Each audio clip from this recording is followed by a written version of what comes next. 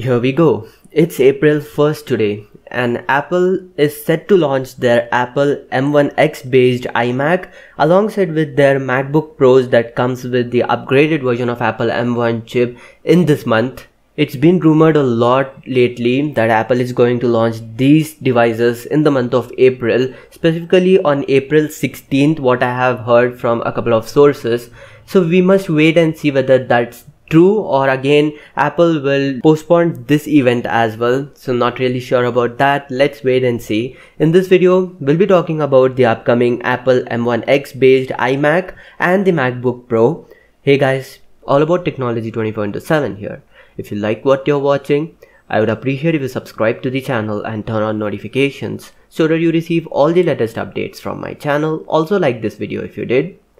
Let's now get started so according to the latest report from DigiTimes, Apple M1X processor is built on the TSMC's 5nm process. Yes, it's the 5nm process itself, but do bear in mind, this 5nm FinFET process is a little bit different than the previous year's 5nm FinFET process. This is much more efficient, I mean energy efficient when compared to the previous 5nm. Yes, 4nm chips will be coming, but that's most likely it's gonna be in 2022, not in 2021.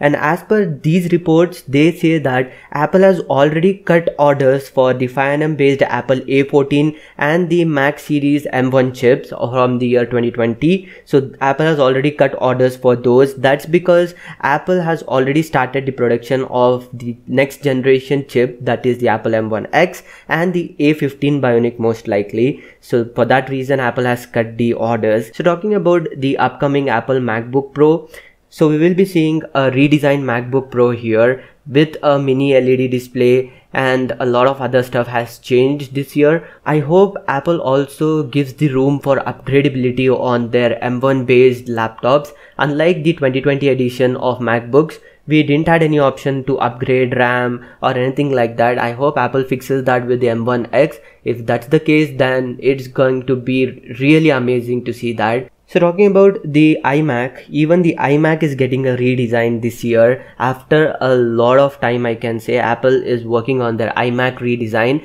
and redesigned iMac will be pretty amazing, lightweight and all other stuff because Apple is going to be using their powerful M1X chip for their iMac series. So this is gonna be an upgraded version of what we'll be seeing on the laptops. It's gonna be beefier than that. Up to 64 cores of CPU and 120 GPU cores what we have heard from rumors.